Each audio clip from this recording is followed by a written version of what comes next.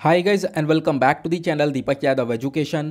Welcome to the daily Hindu news and editorial analysis of 1st of December 2021. तो guys आज है तारीख 1 दिसंबर 2021 और है वेडनेसडे देखेंगे आज का the Hindu complete newspaper the Hindu complete newspaper को एनालाइज करेंगे बट लेक्चर में आगे बढ़ने से पहले, अगर आप लोगों को ये कंप्लीट न्यूज़पेपर का पीडीएफ चाहिए तो क्या करना है सबसे पहले डाउनलोड करना है टेलीग्राम और फिर जाकर सर्च बॉक्स में टाइप करना है Deepak Yadav education as you can see guys आप लोगों को ये वाला चैनल मिल जाएगा। इस पर क्लिक करना और जाकर इस चैनल को ज्वाइन कर लेना। देखो, अगर आप लोगों को इस तरीके से ये चैनल नहीं मिलता है तो नीचे डिस्क्रिप्शन बॉक्स में आप सभी लोगों को टेलीग्राम का लिंक दिया गया है। वो लिंक इसी चैनल का है। जैसे आप उस पर क्लिक करोगे ऑटोमेटिकली ये चैनल ओपन हो जाएगा। इसको जाकर ज्वाइन कर लेना। नाउ ज्वाइन करने से फ़ायदा क्या होगा? यहाँ पर आपको डेली बेसिस पर द हिंदू न्यूज़पेपर मिल जाता है। डेली करंट अफेयर के वीडियो का पीडीएफ मिल जाता है, डेली बहुत सारे डिजिटल नोट्स मिल जाते हैं और ये सारी चीज़ें मिलती हैं बिल्कुल फ्री में तो जाकर इसको ज़रूर ज्वाइन करना। ना वो बढ़ते हैं आगे और आगे बढ़ने से पहले हमेशा की तरह हम लोग अपने लेक्चर को एक मैप के क्वेश्चन के साथ स्टार्ट करेंगे। तो आज आप सभी लोग को मैप में जाकर देखना है, सोनपर हिल्स को, कहाँ पर है ये एग्जैक्टली लोकेटेड अच्छे से मैप में देखना देन उसके बाद आकर नीचे कमेंट सेक्शन में टाइप करना, जिससे कि आप लोग इसको लंबे समय तक याद रख पाओगे। साथ ही साथ एक क्वेश्चन सॉल्व करेंगे, जो कि यूपीएससी प्रीवियस ईयर 1995 के प्रीलिम्स में पूछा गया था। डेली बेसिस पर हम लोग यहाँ पर एक प्रीवियस ईयर क्वेश्चन को भी सॉल्व करते हैं। डेफिनेटली क्वेश्चन बहुत पुराना है, लेकिन डजेंट मैटर क्वेश्चन बहुत इंटरेस्टिंग सा है और आप लोगों ने काफ़ी बार इसके बारे में पढ़ रखा है। इनफैक्ट मैंने पढ़ाया इसके बारे में। तो यहाँ पर क्वेश्चन क्या बोलता है कि आखिरकार एक मीटियोर जो होता है, वो क्या है? नीचे ऑप्शंस दिए गए option number A are rapidly moving star option number B a piece of matter which has entered the earth atmosphere from outer space option number C a part of constellation option number D a comet without a tail तो सही answer नीचे comment section में ज़रूर देना। आपको याद आ चुका होगा। कि कितनी बार मैंने इसके बारे में डिफरेंस समझाया है कि जो हमारे मीटियोराइट्स होते हैं मीटियोर्स होते हैं मीटियोराइट होता है, इनके बीच में क्या डिफरेंस होता है, इसके रिगार्डिंग हमेशा मैं एक पिक्चर शेयर करता हूँ और वो पिक्चर मैंने आज भी टेलीग्राम पर शेयर कर दिया है। तो ओवरऑल सभी लोगों को ट्राई करना है इसका आंसर देने की। बाय द वे इसका जो करेक्ट आंसर है, मैंने आप लोगों को नीचे प्रोवाइड करवा दिया है प्लस टेलीग्राम पर भी प्रोवाइड करवा दिया है, वहाँ से जाकर आप लोग इसको एक बार ज़रूर चेकआउट कर सकते हो। तो चलो शुरुआत करते हैं। यह है आज का सबसे पहला आर्टिकल लेकिन उससे पहले एक और नए महीने की शुरुआत हो चुकी है और अपनी स्ट्रेटजी को बिल्कुल तैयार रखना, जैसा कि मैंने मॉर्निंग वाले वीडियो में बताया था। बाकी जो आपके करंट अफेयर्स या न्यूज़पेपर एनालिसिस है, जिस प्रकार से आ रहे हैं, उस प्रकार से आते रहेंगे। लेकिन आपको ध्यान क्या करना है, आपको थोड़ा सा ध्यान देना है स्टैटिक पोर्शंस पर, और उसके रिगार्डिंग आज ही आप लोगों को पूरी लिस्ट मेंटेन करनी है कि हाँ मुझे इस महीने में क्या क्या कवर करना है। ऐसा नहीं है कि मेंटेन करके रख देना है। मेंटेन करने के बाद उस लिस्ट को पूरा भी करना है। और देखो डेली बेसिस पर भी टारगेट बनाए करो। पहली बात तो छोटे छोटे टारगेट सेट करा करो। छोटे छोटे टारगेट्स बहुत जल्दी अचीव भी हो जाते हैं और खुशी भी मिलती है, ठीक है? उसको अचीव करने के बाद। तो यहाँ पर आपको ध्यान रखना है, ये काम ज़रूर करना है टारगेट सेट करने हैं, उनको अचीव करना है, इसी प्रकार से हमारी लाइफ के अंदर प्रोडक्टिविटी को बढ़ावा हम लोग दे सकते हैं। तो दूसरी चीज़ क्या है, रोज़ कुछ ना कुछ नया ज़रूर सीखना है, और ये काम ज़रूर करा करो यार, है ना? कुछ नया नया ज़रूर सीखोगे तो लाइफ के अंदर कुछ ना कुछ वैल्यू एडिशन डेली बेसिस पर आएगा, कुछ अच्छा नया सीखना है, ठीक है? ऐसा नहीं है यहाँ पर हम लोग किसी बैड मैनर्स की तरफ़ बढ़ रहे हैं, कुछ अच्छा नया सीखना है, जो कि लाइफ में डेफिनेटली एक प्रोडक्टिविटी को लेकर आएगा। ओके तो यहाँ पर जो ये वाला आर्टिकल है मैं आपको बताऊँ ये आर्टिकल हमारे सिलेबस के पॉइंट ऑफ़ व्यू से कैसे इंपॉर्टेंट है तो जीडीपी की बात कर रहे हैं तो article GS paper three economy के पर्सपेक्टिव से इंपॉर्टेंट है। अब क्या हुआ? साल 2021-22 में हम लोग चल रहे हैं और इसी साल के अंदर अगर हम बात करें क्वार्टर टू के बारे में डिस्कशन हुआ है कि क्वार्टर टू का जो जीडीपी है वो एट परसेंट से ग्रो होता हुआ नज़र आया। ये हमारे इस, इस प्रकार का स्टेटमेंट निकल कर आया है जो कि आप कह सकते हो कि जो हमारे सीईए हैं कृष्णमूर्ति सुब्रमण्यम इन्होंने यहाँ पर ये सारी चीज़ें बताई हैं। अब पहली चीज़ तो यहाँ पर यह है कि ये क्वार्टर टू क्या होता है? क्वार्टर्स के बीच में काफ़ी सारे लोगों को कन्फ्यूज़न होता है। तो देखो, एक साल के अंदर चार क्वार्टर्स होते हैं। और जब भी हम लोग इकॉनमी की बात करते हैं तो जो भी साल होता है, वो फाइनेंशियल ईयर होता है। और आपको ये भी मालूम होगा फाइनेंशियल ईयर जो है, जिसकी शुरुआत होती है अप्रैल से और ख़त्म कब होता है? ये मार्च में ख़त्म होता है। तो अगर हम दो हज़ार इक्कीस और दो हज़ार बाईस की अगर हम बात करें मतलब ये जो साल हमारा दो हज़ार इक्कीस से लेकर बाईस तक का है अगर हम इसके अंदर फाइनेंशियल ईयर को देखें तो किस प्रकार से क्वार्टर्स को मैनेज किया जाएगा? तो 2021 जो साल चल रहा है, अभी कुछ महीने निकले हैं, आपको मालूम होगा, इसमें से अप्रैल, मई, जून निकल चुका है। तो एक क्वार्टर यह है, उसके बाद जुलाई, अगस्त, सितंबर दूसरा क्वार्टर है, फिर उसके बाद अक्टूबर, नवंबर, दिसंबर यह तीसरा क्वार्टर है देन उसके बाद जनवरी, फरवरी, मार्च ये चौथा क्वार्टर है। तो चार ये क्वार्टर होते हैं एक साल के अंदर। तो हम बात कर रहे हैं दो हज़ार की। तो इस साल में जो पहला क्वार्टर था, वो तो निकल चुका उसका जीडीपी डेटा हमारे पास ऑलरेडी मैंशनड है। अब बात कर रहे हैं हम लोग दूसरे क्वार्टर की। दूसरा क्वार्टर मतलब कि कौन सा? जुलाई, अगस्त, सितंबर। इन तीन महीने के अंदर जो हमारी जीडीपी का ग्रोथ है, वो 8.4 परसेंट से इंक्रीज होता हुआ नज़र आया है, जो कि बहुत अच्छी बात है। ठीक है, ये हम लोग देख पा रहे हैं। और अगर हम इसको कंपेयर करें पिछले साल से, ये हम 2021-22 की बात कर रहे हैं। इसको कंपेयर करें 2019-20 से तो आपको मालूम होगा 2020 वाला सॉरी 2020-21 से तो 2020-21 वाला जो साल ऐसा था, जहाँ पर कोरोना काफ़ी तेज़ी से बढ़ता हुआ नज़र आया। तो उस साल में अगर हम बात करें तो हमारा इस टाइम पर, इसी वक्त पर जो जीडीपी है, वो लगभग minus seven point four percent के आसपास चल रहा था। मतलब हमारी जीडीपी कॉन्ट्रैक्ट कर रही थी नेगेटिव में चल रही थी। लेकिन अब हमने काफ़ी ग्रोथ पा ली है और लगातार हम लोग यहाँ पर ग्रो कर रहे हैं, ये भी स्टेटमेंट निकल कर आ रहे हैं।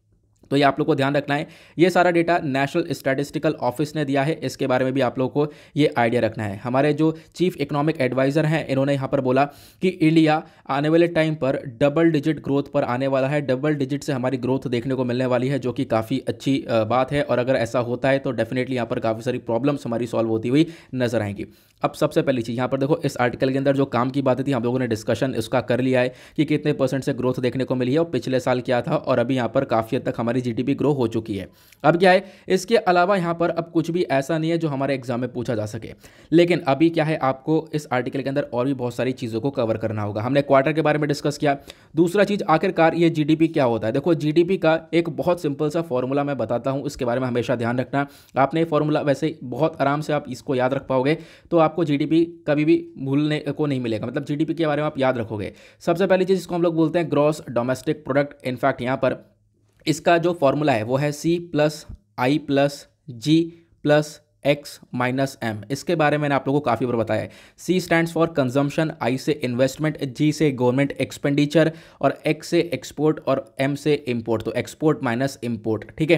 तो इसके बारे में आप लोगों को ध्यान रखना है। ये सब यहाँ पर चीज़ें हम लोग के जीडीपी को डिफाइन करती हैं कि हमारे यहाँ पर कंजम्पशन कितना हो रहा है इन्वेस्टमेंट कितना हो रहा है प्लस गवर्नमेंट एक्सपेंडिचर कितना हो रहा है, सरकार कितना पैसा खर्च रही है एक्सपोर्ट कितना हो रहा है इम्पोर्ट कितना हो रहा है, ये सारी चीज़ें कंट्री की अगर कैलकुलेट की जाए, इन सब का वैल्यू निकाला जाए तो यहाँ पर पता लगता है हमारा GDP gross domestic product okay तो इसके बारे में ध्यान रखना है, इसको आप लोग मेंशन कर सकते हो, कहीं पर भी जब भी जीडीपी का डिस्कशन होगा तो। तो ये होता है जीडीपी इसके अंदर ग्रोथ देखने को मिली है। बाय द यहाँ पर जो जीवीए है, वो भी हमारा राइज होता हुआ नज़र आया है। ग्रॉस वैल्यू एडेड यहाँ पर जो है, ये भी बड़ा है एट पर एट परसेंट से।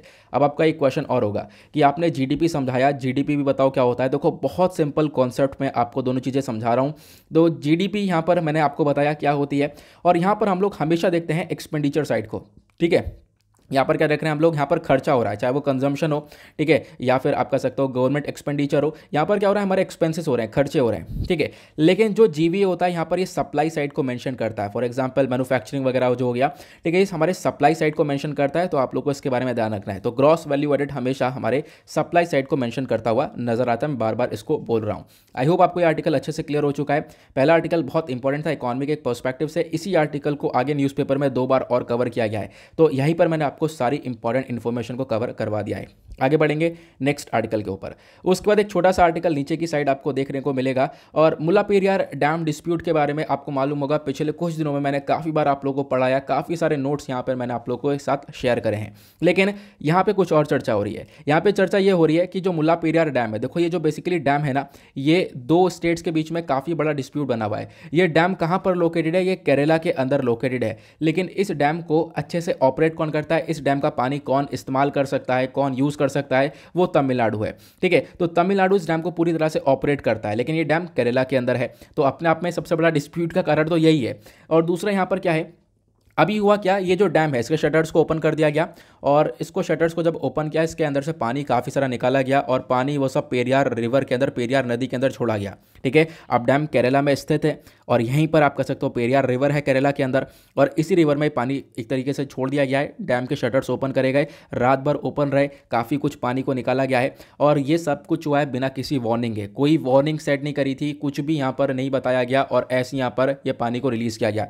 तो इसी वजह से जो केरला है वो लगातार प्रोटेस्ट कर रहा है। इन्होंने बोला, बिल्कुल, आप देख पाओगे कि हमें कोई वार्निंग नहीं मिली और रातों रात में यहाँ पर इन्होंने सारी इतना सारा पानी छोड़ दिया है और इसी वजह से यहाँ पर एक कंसर्न्स क्रिएट होते हैं। फिर उसके बाद यहाँ पर आप देख पाओगे टाइमिंग बताइए कि कब से कब तक कितनी कितनी बार यहाँ पर इन्होंने पानी को रिलीज़ किया है, जो कि हमारे एग्ज़ाम में कहीं भी नहीं पूछा जाएगा डेफिनेटली ठीक है? तो ये हम लोग देख पाते हैं। तो ये एक छोटा सा डिस्प्यूट थोड़ा सा और बढ़ता हुआ नज़र आएगा अदरवाइज़ यहाँ पर और कुछ भी नहीं है। अब क्या है ना, इस आर्टिकल को आप लोग थोड़ा सा रिलेट कर सकते हो अपने और मतलब डिटेल में एग्ज़ाम के पर्सपेक्टिव से। आपको मालूम होगा मुल्ला पेरियार डैम डिस्प्यूट ये जो डैम है बेसिकली ये अपने आप में विवाद बना हुआ है दोनों स्टेट्स के बीच में। वो विवाद क्या है, मैंने आप लोगों के साथ काफ़ी सारे नोट्स को शेयर किया मैंने वापस से यहाँ पर इसको शेयर किया पढ़ सकते हो। चलो मैं बता ही देता हूँ, ठीक है? तो आखिरकार डिस्प्यूट क्या है? तो सबसे पहली बात, ये आर्टिकल हमारा GS paper one plus GS paper three दोनों के पर्सपेक्टिव से इंपॉर्टेंट है। देखो, ये बेसिकली डिस्प्यूट कम से कम बहुत सालों पुराना है, सालों पुराना डिस्प्यूट है। हुआ क्या था? यहाँ पर ये जो डैम मैंने आपको बताया, ये जो बाँध है मुल्ला पेरियार, ये केरला के अंदर है, लेकिन इस डैम को ऑपरेट करने वाला स्टेट तमिलनाडु है। क्या अब आपका कहना होगा, केरला इस डैम का पानी इस्तेमाल नहीं कर सकता? बिल्कुल नहीं कर सकता। ये जितना भी पानी है डैम का, ये सब तमिलनाडु यहाँ पर इस्तेमाल करता है, तमिलनाडु इस पूरे डैम का यूज़ करता है। तो आखिर कब कहोगे, आप लोग ऐसा क्यों? तो देखो, ऐसा यहाँ पर अभी का नहीं है, ऐसे यहाँ पर अंग्रेज़ करके चले गए। ठीक है मतलब क्या था, ये डैम काफ़ी पुराना है और जैसे मैंने आपको बताया, लगभग 126 साल पुराना ये डैम हो चुका है 126 ईयर्स ओल्ड हाँ बिल्कुल इतना पुराना हो चुका है। 1895 के आसपास की बात है, इस डैम को बनाया गया था केरला में और ये जो डैम बनाया उसके बाद क्या हुआ? तमिलनाडु को ये डैम लीज पर दे दिया। लीज मतलब रेंट पर दे दिया। और पता है कितने साल के लिए? ट्रिपल नाइन ईयर्स के लिए। अप्रॉक्स एक हज़ार साल के लिए इसको रेंट पर दे दिया गया। कि हाँ भाई, तमिलनाडु अब यहाँ पर इस डैम का यूज़ करेगा। तो इस प्रकार से यहाँ पर ये डैम तो केरला के अंदर है, लेकिन तमिलनाडु यहाँ पर इसका यूज़ करता है। तो ये इसका हिस्ट्री थी। उसके बाद अगर हम बात करें, ये जो डैम है बेसिकली ये आज के टाइम पर इंपॉर्टेंट बन जाता है तमिलनाडु के लिए। प्लस ये डैम इतना पुराना हो चुका है, इसी वजह से कुछ कंसर्न्स और भी हैं। क्या होता है? केरला बार बार कहता है यार कि ये जो डैम है काफ़ी पुराना हो चुका है, इसके ऊपर क्रैक वगैरह आ चुके हैं और जिस दिन यहाँ पर ये डैम टूटा तो इससे क्या होगा, इससे काफ़ी मतलब बाढ़ आ जाएगी और केरला का जो इद्दू के डिस्ट्रिक्ट है वो बह जाएगा। और केरला के अंदर फ्लड वाली सिचुएशन पहले से ही बहुत ज़्यादा बदतर रहती है तो इसको लेकर कुछ किया जाए। लेकिन यहाँ पर तमिलनाडु मतलब इस चीज़ को बार बार इग्नोर करता है बार बार ये मुद्दा यहाँ पर आप कह सकते हो ऐसे ही चलता रहता है। सुप्रीम कोर्ट के अंदर मुद्दा पहुँचता है, सुप्रीम कोर्ट ने अभी कमेटी को बैठाया है, कमेटी यहाँ पर डिस्कशन करेगी कि कितना पानी का लेवल रखना है। इनफैक्ट हाँ मैं एक चीज़ बताना भूल गया। केरला यहाँ पर यह बोलता है कि यार डैम पुराना हो चुका है बहुत, इसके अंदर क्रैक्स आ चुके हैं, इसका जो पानी का लेवल है थोड़ा सा कम कर लो। तमिलनाडु कहता है, नहीं, हम पानी का लेवल कम नहीं करेंगे। अगर पानी का लेवल कम करेंगे तो इससे क्या होगा? तमिलनाडु के और भी डिस्ट्रिक्ट्स हैं, उनको पानी प्रॉपरली नहीं मिल पाएगा। ये इसका कहना है। तो इसी को डिस्प्यूट को आगे मतलब ये चलता रहता है हमेशा। इसके बारे में आपको ध्यान रखना है।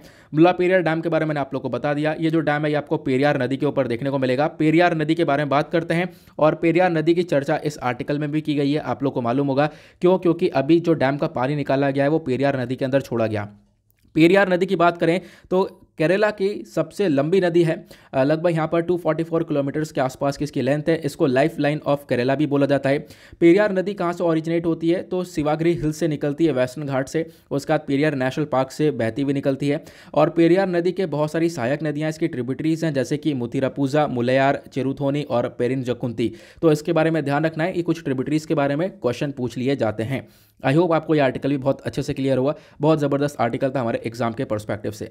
नीचे एक आर्टिकल आपको दिख रहा होगा, यहाँ पर पोल्यूशन के बारे में चर्चा की गई है। दिल्ली में पोल्यूशन है, वो बिल्कुल देखने को मिलेगा, खूब पोल्यूशन है, इसको आप लोग छोड़ दो। नेक्स्ट आर्टिकल पे बात करते हैं, हम लोगों ने कल इस आर्टिकल के बारे में डिस्कशन किया था। बात करें आर्टिकल कैसे इंपॉर्टेंट है तो जीएस पेपर टू पॉलिटी के पर्सपेक्टिव से इंपॉर्टेंट है। आपको मालूम होगा, कल मैंने आपको बताया था कि बारह जो एम हैं, राज्यसभा के मेंबर ऑफ़ पार्लियामेंट है, इनको अभी सस्पेंड कर दिया गया है। और सस्पेंड करने के पीछे का रीज़न ये था कि इन एम ने जो पहले वाला मानसून सेशन था उस मानसून सेशन के अंदर क्या किया था इन्होंने कुछ यहाँ पर एक तरीके से आ, मतलब कि कुछ यहाँ पर वॉयलेंस क्रिएट किया। अब वॉयलेंस क्रिएट किया है उसी वजह से यहाँ पर इनको अब सस्पेंड किया गया है। लेकिन अब आपका क्वेश्चन होगा बिल्कुल देखो क्वेश्चन सभी का यही है कि पिछले मानसून सेशन के अंदर इन्होंने वॉयलेंस क्रिएट किया। ठीक है मानसून सेशन जब हमारा एंड हो रहा था तो इसका जो भुगतान है, ये अब क्यों भुगत रहे हैं? क्योंकि अभी आपको मालूम होगा ट्वेंटी ऑफ़ नवंबर को हमारा विंटर सेशन स्टार्ट हो चुका है। पार्लियामेंट के अंदर बहुत सारे सेशंस होते हैं तो मानसून सेशन में इन्होंने काम किया, लेकिन इनको सजा विंटर सेशन में मिल रही है। विंटर सेशन के लिए इनको हमेशा के लिए मतलब पूरे सेशन के लिए सस्पेंड कर दिया गया है। वैसे भी ये सेशन अभी चलने वाला है, लेकिन यहाँ पर अभी सस्पेंड कर दिया गया इन लोगों को। अब ये मुद्दा काफ़ी उठ चुका है। पता है, इस आर्टिकल को आज के न्यूज़पेपर में चार से पाँच जगह पर कवर किया गया है। अब ये कवर क्यों किया गया है? क्योंकि लोग प्रोटेस्ट कर रहे हैं, जो अपोजिशन पार्टीज़ है, क्योंकि ये जो एम हैं राज्यसभा के अंदर, ये अपोजिशन एम हैं और यहाँ पर ये लगातार प्रोटेस्ट कर रहे हैं, कह रहे हैं कि यहाँ पर ये डेमोक्रेसी का क्या हो गया डेमोक्रेसी यहाँ पर खतरे में अगर इस प्रकार की चीज़ें दिखाई जाएँगी रूलिंग पार्टी के थ्रू तो। ओके okay, तो यहाँ पर मैंने आप लोग को समझाया कि क्या हो रहा है। अभी क्या हुआ एक नई अपडेशन निकल कर ये आती है कि जो हमारे कॉमर्स मिनिस्टर हैं पीयूष गोयल साहब। ये यहाँ पर इन बारह एम से बोलते हैं कि आप लोग माफ़ी मांगो। ठीक है, अगर आप लोग माफ़ी मांग लेते हो तो आप लोगों को राज्यसभा में वापस से रिटर्न कर लिया जाएगा। ठीक है तो ये चीज़ यहाँ पर बोली जा रही है। लेकिन यहाँ पर कोई माफ़ी का नाम निशान नहीं है। अभी क्या हो रहा है, जो भी यहाँ पर अपोजिशन पार्टीज़ के एम हैं, ये एक तरीके से अभी प्रोटेस्ट कर रहे हैं। अभी काफ़ी प्रोटेस्ट कर रहे हैं और यहाँ पर क्योंकि इनको सस्पेंड कर दिया गया है इस सेशन से, इस वजह से यहाँ पर ये सब कुछ देखने को मिल रहा है। आई होप आपको क्लियर हुआ है। लेकिन अभी इस आर्टिकल के अंदर हमने कुछ इंपॉर्टेंट चीज़ों को नहीं कवर किया है। ठीक है क्योंकि देखो न्यूज़पेपर के अंदर चीज़ें यहाँ पर आपको ऊपर ऊपर से बता दी जाती हैं। और क्वेश्चन कहाँ से पूछे जाते हैं? चाहे आप लोगों ने प्रीवियस ईयर क्वेश्चन देखे होंगे क्वेश्चन कहाँ से पूछे जाते हैं? आर्टिकल के बिल्कुल अंदर से। आर्टिकल को, आपको करंट अफेयर्स को आपको अपने स्टैटिक पार्ट से रिलेट करना होगा। ये आपने हर जगह पर सुना होगा, चाहे कोई से इंटरव्यू देखे होंगे, चाहे कुछ भी होगा। तो मैं यहाँ पर यही काम करता हूँ, जैसे अभी हमने मुला पेरियार डैम डिस्प्यूट के बारे में चर्चा करी। तो डैम डिस्प्यूट का एक करंट अफेयर आ गया, एक अपडेट आ गया कि क्या चल रहा है। लेकिन जब तक आपको ये इसका बैकग्राउंड नहीं पता होगा, क्योंकि क्वेश्चन यहाँ पर पेरियार रिवर से बन सकता है या फिर इस डैम डिस्प्यूट के रिगार्डिंग बन सकता है। ठीक है, उसी प्रकार से मैंने अभी आपको जीडीपी के बारे में समझाया। तो ये सारी चीज़ें यहाँ पर हैं। इसको आपको थोड़ा सा लिंक करना पड़ेगा, कुछ अलग से इन्फॉर्मेशन को गैदर करना पड़ेगा। अदरवाइज़ यहाँ पर ये फिर न्यूज़पेपर बेकार है पढ़ना। ठीक है? तो यहाँ पर जो नेक्स्ट आर्टिकल है सॉरी ये वाला आर्टिकल है, इसके अंदर एक इंपॉर्टेंट चीज़ ये है कि अभी यहाँ पर इन एम को सस्पेंड किया गया है। तो इनके सस्पेंशन के पीछे कुछ ना कुछ तो इस्तेमाल किया होगा, बिल्कुल। तो राज्यसभा का एक रूल है रूल टू फिफ्टी रूल है, ठीक है? इसको यहाँ पर यूज़ किया है, उस बेसिस पर इन एम को सस्पेंड किया गया। अब यहाँ पर इस रूल का मैंने पूरा का स्क्रीनशॉट ले लिया मैं आपको दिखाता हूँ। ये राज्यसभा की वेबसाइट मैंने ओपन करी है। वहाँ से यहाँ पर आप कह सकते हो स्क्रीनशॉट लिया है और ये जो दो सौ रूल है, ये बात करता है सस्पेंशन ऑफ़ मेंबर के बारे में कि किसी मेंबर को किस प्रकार से हम लोग सस्पेंड कर सकते हैं। तो यहाँ पर आप देख पाओगे जो चेयरमैन है, राज्यसभा का जो चेयरमैन होता है, क्योंकि आपको मालूम होगा लोकसभा के अंदर एक स्पीकर होते हैं, राज्यसभा के अंदर चेयरमैन होता है। तो जो चेयरमैन है, अगर इन्हें लगता है कि हाँ मान लो कि किसी मेंबर ने ये काम किया, किसी मेंबर ने यहाँ पर एक तरीके से वॉलेंस क्रिएट किया है उन्होंने यहाँ पर तो ये एक तरीके से एक अब्यूज़ ही अब्यूज़ किया है। तो इन सब चीज़ों के बेसिस पर क्या हो सकता है कि उस व्यक्ति को सस्पेंड किया जा सकता है, उस मेंबर को सस्पेंड किया जा सकता है। ऐसा यहाँ पे बताया गया। सस्पेंड के पीछे यहाँ पर एक मोशन पास किया जाएगा और उसके बेसिस पर यहाँ पर सस्पेंड किया जाएगा। तो इसके बारे में आप लोग एक आइडिया रख सकते हो कि हाँ आपसे पूछा जा सकता है कि हाँ मान लो किसी एमपी को सस्पेंड किया जाएगा।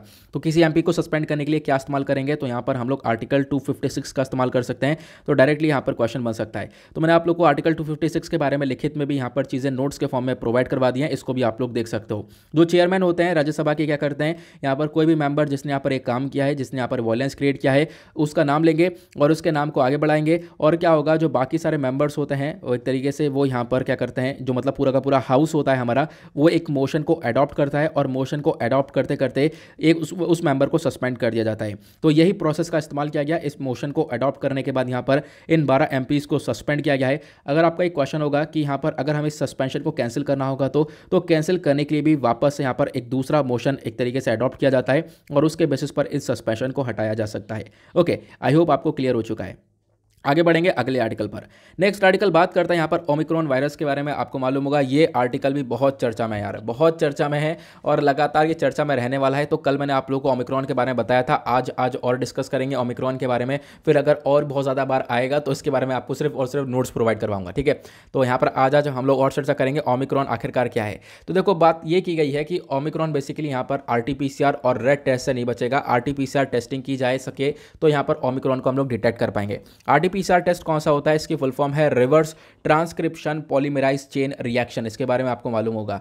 दूसरा टेस्ट होता है रैपिड एंटीजन टेस्ट जिसको हम लोग RAT बोलते हैं, ठीक है? दो प्रकार के टेस्टिंग बहुत अच्छे टेस्टिंग है ये। यहाँ पर क्या होगा? अभी इंस्ट्रक्ट किया है हमारे हेल्थ मिनिस्टर ने कि भाई इन टेस्टिंग को बढ़ावा दिया जाए, इन टेस्टिंग को बढ़ाया जाए, क्योंकि यहाँ पर जो ओमिक्रॉन है इस वायरस को हम लोग इन टेस्टिंग से डिटेक्ट कर सकते हैं। पहली चीज़ तो ओमिक्रॉन वायरस के बारे में डिस्कस करते हैं तो ये वायरस एक तरीके से वेरिएंट ऑफ़ कंसर्न की कैटेगरी में आता है, ये आप लोग को मालूम होना चाहिए। और इस वायरस का जो साइंटिफिक नेम है, ज़रा नीचे कॉमेंट सेक्शन में ज़रूर बताना। इस वायरस को सबसे पहली बार डिटेक्ट किया गया था साउथ अफ्रीका के अंदर। आज के टाइम पर बहुत सारे कंट्रीज़ के अंदर लगातार फैल चुका है। और जैसे मैंने आपको बताया, ये virus variant of concern category के अंदर है। तो वेरियंट ऑफ़ कंसर्न क्या होता है? वेरियंट ऑफ़ कंसर्न यहाँ पर ऐसे वायरसेस के वेरियंट्स हैं, जो कि काफ़ी हद तक चिंता पैदा करते हैं। जिनकी ट्रांसमिसिबिलिटी रेट काफ़ी ज़्यादा है। अगर यहाँ पर ये वायरस फैल गए ज़्यादा तेज़ी से तो ये हॉस्पिटलाइजेशन को बढ़ा सकते हैं, लोगों के अंदर डेथ जो है वो काफ़ी बढ़ सकती है। तो इसे हम लोग वेरिएंट ऑफ़ कंसर्न बोलते हैं, ठीक है? तो ध्यान रखना ओमिक्रॉन अब ओमिक्रॉन ये नाम किसने दिया? ये W H O world health organisation ने दिया है, ठीक है? तो इसके बारे में एक छोटा सा आइडिया रख सकते हो। अब बात करते हैं हम लोग इन दो टेस्टिंग के बारे में। मैंने जैसा बताया, एक आरटीपीसीआर टेस्ट होता है और एक होता है आर रेट टेस्ट तो दोनों के बीच में क्या डिफरेंस होता है? बहुत अच्छी तरीके से इसको क्लियर करवाऊँगा। ध्यान से सुनते चलना। देखो जो रेट टेस्ट होता है रैट मतलब रैपिड एंटीजन टेस्ट या फिर आप इसको कह सकते हो रैपिड एंटीजन डिटेक्शन टेस्ट देखो, इसका बहुत सिंपल सा इसका यहाँ पर यूज़ होता है कि जो एक स्टिक होती है, वो आपके नोज़ में डाली जाती है। नोज़ का जो स्वैब है, उसको कलेक्ट किया जाता है और उस कलेक्शन के बेसिस पर उसकी टेस्टिंग की जाती है कि हाँ आपके बॉडी के अंदर कोई वायरस प्रेजेंट है या नहीं है, ठीक है? तो रैपिड एंटीजन टेस्ट इसका नाम खुद रैपिड लगा हुआ है। रैपिड मतलब तेज़ी से। इसका रिज़ल्ट मतलब आधे घंटे में आपको मिल जाता है, आधे घंटे में आपके पास यहाँ पर इसका रिज़ल्ट आ जाएगा कि हाँ भाई रिपोर्ट पॉजिटिव है या नेगेटिव है? क्या प्रोसेस होता है? मैंने आप लोग को बताया कि नोज़ में से स्वैप का कलेक्शन किया जाता है। लेकिन अगर हम बात करें दूसरा जो टेस्ट होता है वो होता है R T P C R. R T P C R में बहुत टाइम लग जाता है, ठीक है? घंटों लग जाते हैं, दो से पाँच घंटे तक लग सकते हैं R T P C R testing में। और R T P C R testing काफ़ी इफ़ेक्टिव टेस्टिंग पहले बताई गई थी। पहले मैं आपको बता देता हूँ कि आखिरकार ये होती क्या है। लेकिन उससे पहले एक और बहुत इंपॉर्टेंट इन्फॉर्मेशन है। एक अमेरिकन बायोकेमिस्ट है, जिनका नाम है कैरी मुलिस ठीक है? इन्होंने यहाँ पर P C R test technique को बनाया था, जो पॉलीमराइज चेन रिएक्शन है। इस टेक्निक को बनाने वाले कौन सी व्यक्ति हैं? तो अमेरिकन बायोकेमिस्ट हैं कैरी मुलिस ठीक है? आपसे क्वेश्चन बन सकता है, क्योंकि ये साथ ही साथ एक नोबल प्राइज विनर भी है केमिस्ट्री के फ़ील्ड में 1993 के, ठीक है? तो इसके बारे में एक छोटा सा आइडिया रखना है।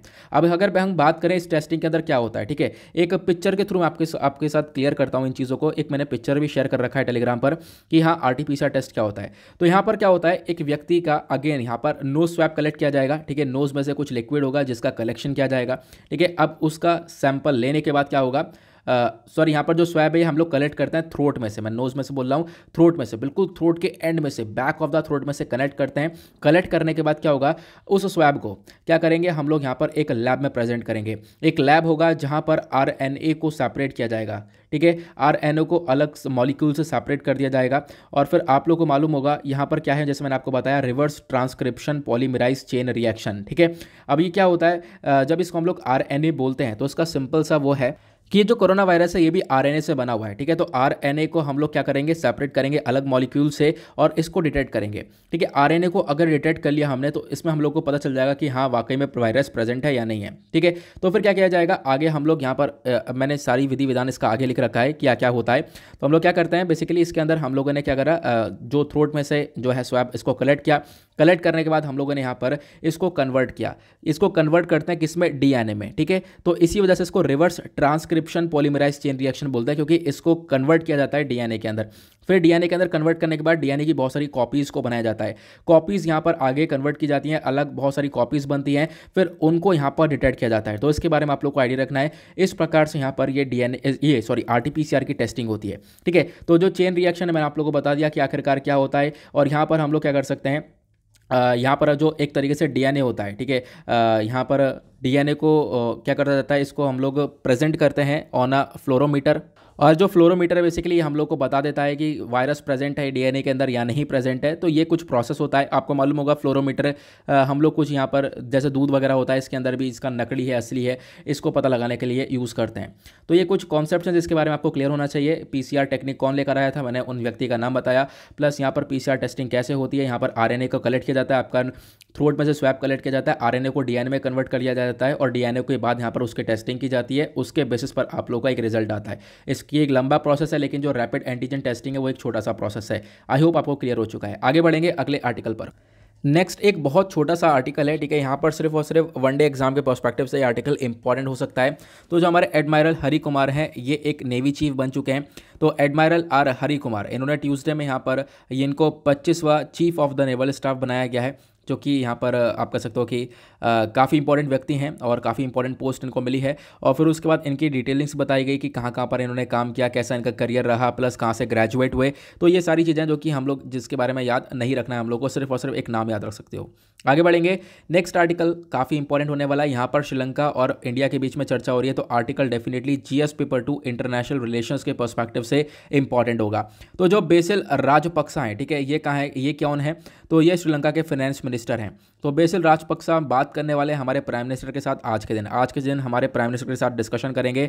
मंगलवार के दिन मतलब कल के दिन ये ऑलरेडी आ चुके हैं भारत के अंदर। अब आज या कल में प्राइम मिनिस्टर के साथ डिस्कशन होगा और डिस्कशन करने के साथ साथ ये यहाँ पर कुछ इकोनॉमिक असिस्टेंस की मांग करने हैं। मतलब कि यहाँ पर भारत इनको सपोर्ट करे इन्वेस्टमेंट करे टूरिज़्म का बढ़ावा दे इन कंट्रीज़ के अंदर। तो भारत कुछ पैसा फाइनेंशियली सपोर्ट करे बेसिकली इसी वजह से यहाँ पर ये श्रीलंका मतलब ये एक तरीके से कोऑर्डिनेट करता हुआ नज़र आएगा भारत के साथ इस समय पर। right. और एक तरीके से यहाँ पर जो बेसिल राजपक्सा हैं ये पहली बार यहाँ पर आए हैं और एक तरीके से जब से फाइनेंस मिनिस्टर बने हैं, तब से यहाँ पर पहली बार देखने को मिले हैं भारत के अंदर। और भारत के अंदर अगर हम बात करें आए इसलिए हैं, जैसे मैंने आपको बताया इकोनॉमिक असिस्टेंस के लिए आए हैं। ऐसा क्यों है? क्योंकि श्रीलंका के अंदर हालत काफ़ी ख़राब है। डॉलर के मामले में बात करें तो इनकी खुद की जो करेंसी है, वो काफ़ी हद तक डाउन जा चुकी है। और श्रीलंका के अंदर कितनी बुरी हालात हैं, ये मैंने आप लोगों को कुछ दिन पहले एक एडिटोरियल में बताया था कि इन लोगों ने क्या कर रखा है? इन्होंने ऑर्गेनिक फ़ार्मिंग अपनाई थी, ठीक है? तब भी बहुत बुरा हाल हुआ ऑर्गेनिक फ़ार्मिंग को अचीव कर नहीं पाए, पूरे कंट्री में ऑर्गेनिक फ़ार्मिंग करने वाले थे, लेकिन यहाँ पर नहीं हो पाया ऐसा कुछ भी। दूसरा चीज़ यहाँ पर देख पाओगे, इनकी इकॉनमी काफ़ी हद तक डाउन काफ़ी तक बर्बाद देखने को मिलेगी। उसमें कोरोना वायरस का भी बहुत बड़ा रोल है। क्यों? क्योंकि इनकी इकॉनमी ज़्यादातर टूरिज़्म के ऊपर डिपेंडेंट है। कोरोना वायरस में टूरिज़्म खत्म हुआ इकॉनमी हो गई तबाह। उसके बाद तीसरा यहाँ पर आप देख पाओगे, इनका जो रिजर्व्स वगैरह है, वो भी खत्म हो चुके हैं। चौथा आप देख पाओगे, श्रीलंका सबसे बड़ा यहाँ पर कारण बन चुका है सॉरी चाइना। चाइना यहाँ पर क्या कर चुका है? चाइना इतना सारा इन्वेस्टमेंट कर चुका है श्रीलंका के अंदर कि श्रीलंका उस इन्वेस्टमेंट को चुका नहीं पा रहा है और इनफैक्ट यहाँ पर पॉसिबिलिटी है कि यहाँ पर आने वाले टाइम पर चाइना का और भी ज़्यादा इन्वॉल्वमेंट देख सकते हैं हम लोग श्रीलंका के अंदर।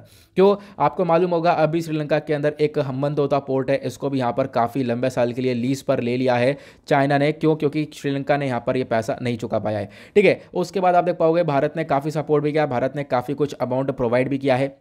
लेकिन एक टाइम पर भारत श्रीलंका के रिलेशन खराब हुए। कब? जब आती है बात कोलंबो पोर्ट की। कोलंबो पोर्ट की बनाने की बातचीत की गई थी। तो वो जो पोर्ट है बेसिकली यहाँ पर वेस्ट वेस्ट कंटेनर जो टर्मिनल है west terminal west container terminal ये पोर्ट यहाँ पर भारत को ये प्रोजेक्ट मिला था। भारत और जापान दोनों मिलकर इसको बना रहे थे। लेकिन यहाँ पर क्या हुआ? एट द लास्ट श्रीलंका ने मना करा और वो प्रोजेक्ट चाइना के हाथ में दे दिया। तो आप कह सकते हो यहाँ पर कि कितना ज़्यादा यहाँ पर ये कंसर्न क्रिएट हुआ है। और फिर उसके बाद यहाँ पर और क्या देखने को मिला? फिर उसके बाद रिलेशन काफ़ी ख़राब हुए। और रिलेशन यहाँ पर ख़राब हुए। सॉरी यहाँ पर वेस्ट वे, जो हमारा मैंने भी बताया है आप लोग को जो पोर्ट डेवलप कर रहा था तो यहाँ पर इंडिया जापान मिलकर कोलंबो पोर्ट टर्मिनल को डेवलप कर रहे थे लेकिन यहाँ पर आप कह सकते हो कि काफ़ी हद तक सिचुएशन खराब हुई। उसके बाद यहाँ पर ये आप देख पा रहे हो श्रीलंका ने उस पोर्ट को डेवलप करने से मना करा डेवलप करने से मना करने के साथ साथ वो प्रोजेक्ट चाइना के हाथ में दिया।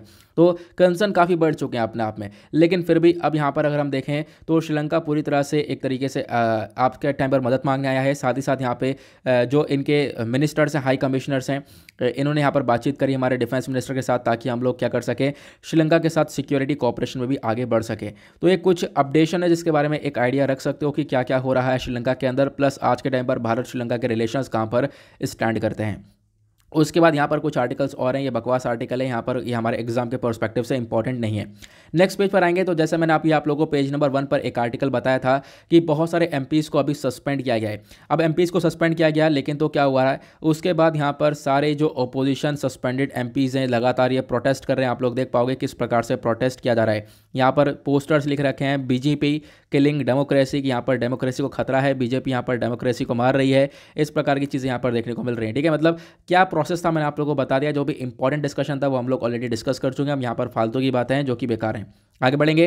तो अभी क्या है, देखो विंटर सेशन चल रहा है और सरकार यहाँ पर नया क्रिप्टो बिल को लेकर आने वाली है। नए क्रिप्टो बिल को इंट्रोड्यूस किया जाएगा बहुत जल्दी, ऐसा हमारी फाइनेंस मिनिस्टर निर्मला सीतारमन जी का स्टेटमेंट निकल कर आ चुका है। और जो क्रिप्टो बिल होगा, ये क्या करेगा प्राइवेट क्रिप्टो करेंसीज को बैन करेगा, ऐसा भी बताया गया। प्लस यहाँ पर आज के टाइम पर ऐसा क्यों बोला जा रहा है, क्योंकि हमारे प्राइम मिनिस्टर ने रिसेंटली यहाँ पर काफ़ी कुछ बोला है क्रिप्टो करेंसी को लेकर।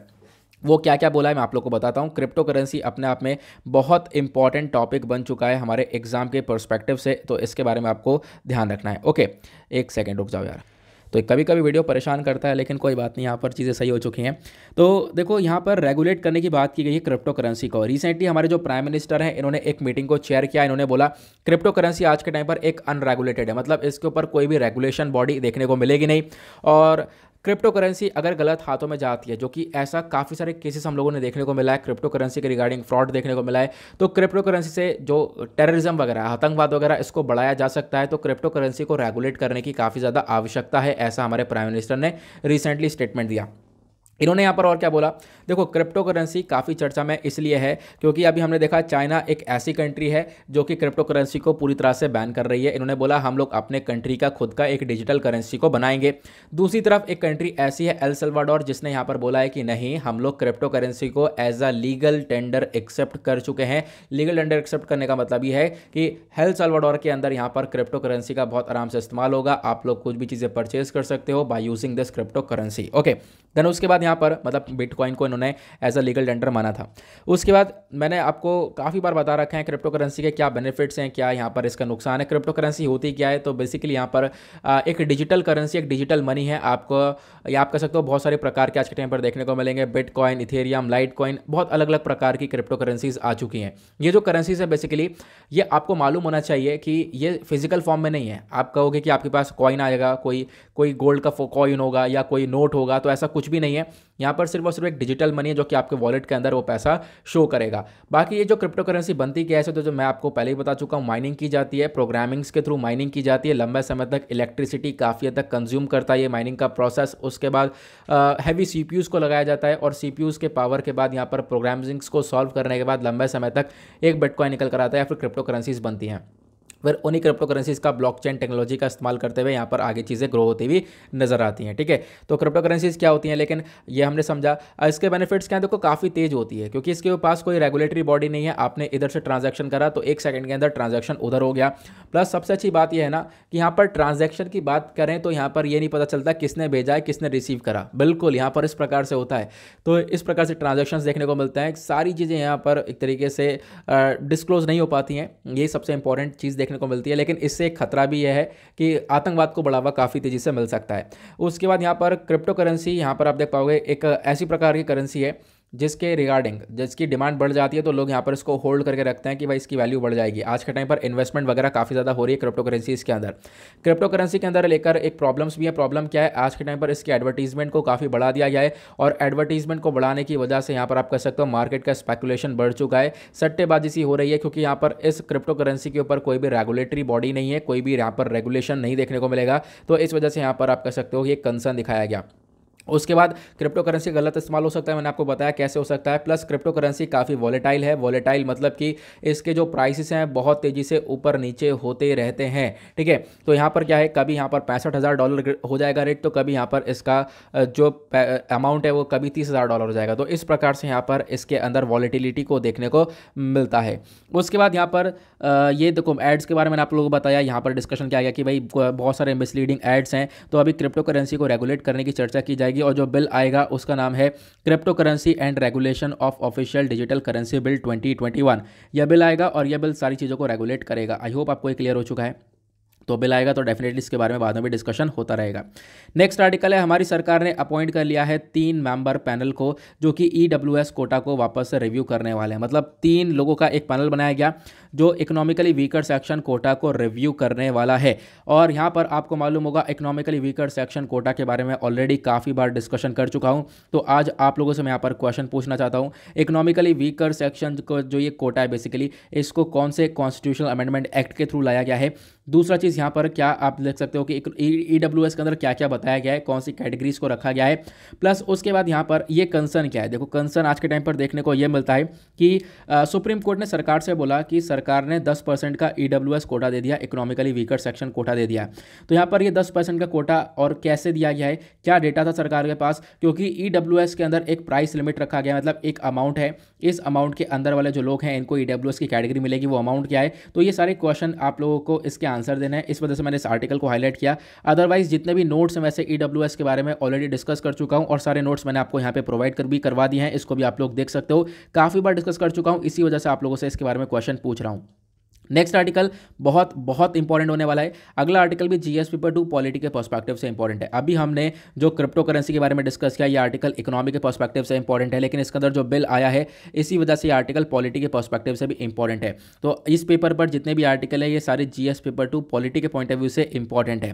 ठीक है, यहाँ पर जो आर्टिकल है, ये बात करता है इंडियन सिटीजनशिप के बारे में। तो यहाँ पर बताया गया, लगभग छः लाख से ज़्यादा जो इंडियंस हैं, इन्होंने अपनी सिटीजनशिप को रिनाउंस किया है। मतलब अपनी सिटीजनशिप को है इन्होंने सिटीजनशिप को छोड़ी है। ठीक है, ऐसा बताया गया, ये डेटा 2016 से लेकर 2020 तक का है। चार सालों के अंदर यहाँ पर भारतीय बहुत सारे सिटीजन्स ने अपनी सिटीजनशिप को छोड़ा है। ठीक है, इसको त्यागा है, ऐसा यहाँ पर बताया गया। ये जो डेटा निकल कर आता है, ये मिनिस्ट्री ऑफ़ होम अफेयर्स का है।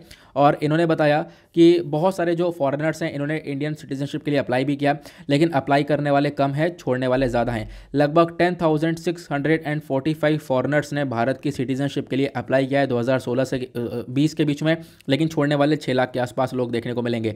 ठीक है, फिर उसके बाद काफ़ी सारी चीज़ें बताई गई हैं कि इस साल कितने लोगों ने छोड़ा, इस साल कितने लोगों ने छोड़ा, जो कि हमारे लिए बिल्कुल भी इंपॉर्टेंट नहीं है। लेकिन इंपॉर्टेंट यह है कि आखिरकार सिटीजनशिप कैसे ली जा सकती है, या फिर सिटीजनशिप कैसे छोड़ी जा सकती है, इसके बारे में आपको पता होना चाहिए, क्योंकि ये हमारे संविधान के अंदर बताया गया है। प्लस जब भी आप पॉलिटी की बुक पढ़ोगे, बाय लक्ष्मीकांत तो उसके अंदर भी सारी चीज़ें मैंशन करी गई हैं। तो मैं आप लोग को सारी चीज़ें बताऊँगा। Article GS paper two polity के पर्सपेक्टिव से इंपॉर्टेंट है, ये मैं ऑलरेडी आपके साथ डिस्कस कर चुका हूँ, क्योंकि हमारे सिलेबस में सिटीजनशिप और भी इंडियन कॉन्स्टिट्यूशन ये सारे टॉपिक्स डायरेक्टली मैंशन है तो इनके पॉइंट ऑफ़ व्यू से ये इंपॉर्टेंट हो जाएगा। सबसे पहली चीज़, जो सिटीजनशिप है इसको लिस्ट किया गया है यूनियन लिस्ट के अंदर। हमारे संविधान के अंदर अलग अलग लिस्ट है आप लोगों को मालूम होगा। एक स्टेट लिस्ट एक यूनियन लिस्ट एक कंकरेंट लिस्ट है। तो यूनियन लिस्ट के अंदर सिटीजनशिप को यहाँ पर रखा गया है और उसके बाद जो कॉन्स्टिट्यूशन है हमारा, ठीक है, वो जो एक तरीके से टर्म है सिटीजन इसको प्रॉपरली यहाँ पर डिफाइन नहीं करता है, लेकिन अलग अलग जो कैटेगरीज ऑफ़ पर्सन हैं जिसको यहाँ पर सिटीजनशिप दी जाती है, उसके बारे में सारी चीज़ें कहाँ पर मैंशन है? आर्टिकल फाइव से लेकर एलेवन में। ठीक है तो आर्टिकल पाँच से लेकर आर्टिकल ग्यारह तक सिटीजनशिप के बारे में सारी चीज़ें आप लोग को देखने को मिल जाती हैं। लेकिन मैं आपको बताऊँगा बताऊँगा डोंट वरी यहाँ पे अगर हम बात करें तो देखो, जो हमारा एक तरीके से संविधान है, इसको अडॉप्ट कब किया गया था? हमारे संविधान को अडॉप्ट किया गया था 26 नवंबर 1949 में। लेकिन ये पूरी तरह से वर्किंग में कब आया था? तो वर्किंग में आया था 26 नवंबर 1950 में। तो यहाँ पर इसके बारे में भी आप लोगों को एक छोटा सा आइडिया रखना है, क्योंकि जितने भी आर्टिकल्स थे यहाँ पर, आप कह सकते हो ये सब वर्किंग में आए हैं ट्वेंटी ऑफ़ जनवरी नाइनटीन से लेकिन हालाँकि यहाँ पर इनको अडॉप्ट बहुत पहले कर लिया गया था, जब हमने अपने संविधान को अडॉप्ट किया था, ठीक है? तो इसके बारे में एक आइडिया रख सकते हो। मतलब कुछ खास चीज़ें नहीं है, अब डायरेक्टली खास चीज़ें पर आएँगे। सबसे पहली चीज़, आप भारत की नागरिकता इंडियन सिटीजनशिप को कैसे ले सकते हो? एक्विज एक्विजिशन इसका कैसे कर सकते हो? तो देखो, यहाँ पर सिटीजनशिप एक्ट 1955 है। यहाँ पर पाँच तरीके बताए गए हैं, जैसे कि यहाँ पर आप सिटीजनशिप किस किस प्रकार से ले सकते हो। सबसे पहली चीज़, आपका बर्थ होना चाहिए भारत के अंदर। आपका जन्म हुआ हो, या फिर डिसेंट हो, आपके कोई लोग हों, या फिर रजिस्ट्रेशन नेचुरलाइजेशन या फिर इनकॉर्पोरेशन ऑफ़ टेरिटरी कुछ इस प्रकार की चीज़ें हैं जिस बेसिस पर यहाँ पर एक व्यक्ति सिटीजनशिप ले सकता है। भारत के अंदर इन पाँच चीज़ों के बेसिस पर, ठीक है? उसके बाद नेक्स्ट यहाँ पर जो मेन मुद्दा है मेन मुद्दा यह है कि सिटीजनशिप एक बंदा कैसे छोड़ सकता है? मेन चीज़ हमें यही डिस्कस करनी है कि किस प्रकार से कोई सिटीजनशिप को छोड़ सकता है। सबसे पहली बात वॉलंटरीली रेनोन्सिएशन होता है मतलब कि यहाँ पर एक व्यक्ति अपने मर्ज़ी से सिटीजनशिप को छोड़ सकता है, ठीक है? अपने मर्ज़ी से यहाँ पर छोड़ सकता है, लेकिन होगा क्या? अगर उसने सिटीजनशिप छोड़ी है और उसी के साथ उसका एक बच्चा है और वो माइनर है, ठीक है? अठारह साल से कम उम्र का है तो उसकी भी सिटीजनशिप चली जाएगी। और जैसे वो बच्चा 18 साल से ऊपर का हो जाएगा तो वो चाहे तो यहाँ पर सिटीजनशिप वापस से ले सकता है। दूसरा प्रोसेस क्या है? तो सिटीजनशिप को छोड़ने का दूसरा प्रोसेस है बाय टर्मिनेशन ठीक है? होगा क्या? जो हमारा संविधान है, वो ऑटोमेटिकली भी टर्मिनेट कर देता है। होता क्या है? देखो, हमारे संविधान के अंदर सिंगल सिटीजनशिप का कॉन्सेप्ट है कि आप लोग एक ही जगह पर सिटीजनशिप एक ही कंट्री की सिटीजनशिप ले सकते हो, ठीक है? भारत की लेनी है, भारत की लो, अमेरिका की लेनी है, अमेरिका की लो, ठीक है? अगर आप लोगों ने यहाँ की सिटीजनशिप ले रखी है और आप लोग जाकर अमेरिका जाते हो, अमेरिका की जाकर आपने सिटीजनशिप ले ली तो इससे क्या होगा? इससे ऑटोमेटिकली आपकी भारतीय सिटीजनशिप खत्म हो जाएगी। तो ये हमारे संविधान के अंदर चीज़ें मैंशनड है। तीसरा क्या है? सरकार भी सिटीजनशिप छोड़वा देती है किसी किसी की। जानबूझ के यहाँ पर नहीं, फिर भी यहाँ पर जो व्यक्ति एक तरीके से आप कह सकते हो अलग अलग चीज़ें करेगा। जैसे कि यहाँ पर आप कह सकते हो कि गवर्नमेंट भी टर्मिनेट कर सकती है किसी व्यक्ति की सिटीजनशिप को अगर वो व्यक्ति हमारे संविधान की डिसरिस्पेक्ट करता है तो। उसने हमारे संविधान को डिसरिस्पेक्ट किया तो उसकी सिटीजनशिप छुड़वाई जा सकती है। प्लस उसके बाद या फिर उसने सिटीजनशिप कोई फ्रॉड तरीके से ली हो, ठीक है, तब भी यहाँ पर उसकी सिटीजनशिप को ख़त्म किया जा सकता है। उसके बाद या फिर कोई व्यक्ति भारत का सिटीजनशिप ले चुका था, लेकिन फिर भी क्या हुआ यह बाहर किसी विदेश में रह रहा है, सात साल से लगातार कंटिन्यूस रह रहा है तो उसके बेसिस पर भी यहाँ पर उसकी इंडियन सिटीजनशिप चली जाती है। तो इसके बारे में एक आइडिया रख सकते हो। आई होप आपको इंडियन सिटीजनशिप रेनाउंसिएशन के बारे में समझ में आ चुका है।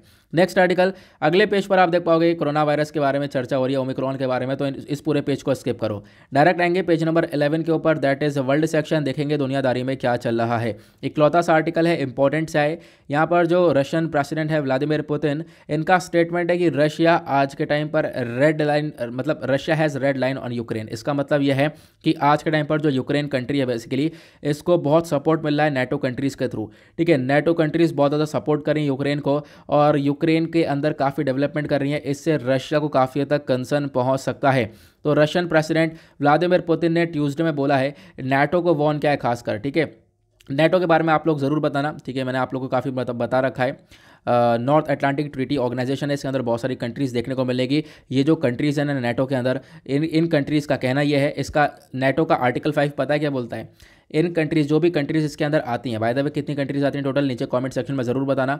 जितनी भी कंट्रीज़ आती हैं, इन कंट्रीज़ में से अगर किसी एक कंट्री पर भी अटैक हुआ तो इसका मतलब है सभी कंट्री के ऊपर अटैक हुआ है। ऐसा यहाँ पर नेटो का आर्टिकल नंबर फाइव बोलता है, ठीक है? तो आप समझ सकते हो नेटो कंट्री के अंदर नेटो के अंदर जितनी भी कंट्रीज़ है, वो अपने आप में कितनी ज़्यादा, एक तरीके से उनके अंदर कॉपरेशन देखने को मिलेगा। उसके बाद बात करें तो नेटो आज के टाइम पर लगातार सपोर्ट कर रहा है यूक्रेन को। ठीक है, यूक्रेन यूक्रेन को इन्होंने क्या करा है, यहाँ पर ट्रूप्स को भेजा प्लस उसके बाद वेपन्स वगैरह प्रोवाइड करवाएँ तो रशिया यहाँ पर कंसर्न दिखाता है।